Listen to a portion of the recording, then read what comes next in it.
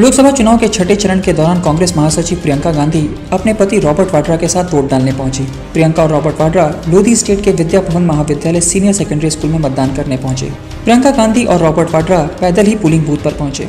Vote डालने के बाद प्रियंका गांधी और रॉबर्ट वाड्रा ने स्याही लगी उंगली मीडिया के कैमरों के सामने दिखाई। वोट करने के बाद प्रियंका ने मीडिया से बातचीत में कहा, हमने लोकतंत्र बचाने के लिए मतदान किया है। जनता में आक्रोश है, जनता त्रस्त और परेशान है। स्पष्ट है कि बीजेपी की सरकार जा रही है वह हार रही है। ये चुनाव बहुत महत्वपूर्ण है क्योंकि हम अपने लोकतंत्र को बचाने के लिए अपने देश के लिए चुनाव हैं। मैंने इस मानसिकता से ये एकदम स्पष्ट है कि भाजपा की सरकार जा रही है जनता में आक्रोश है। जनता त्रस्त है परेशान है और और अपना इस इस परेशानी को वोट के ज़रिए व्यक्त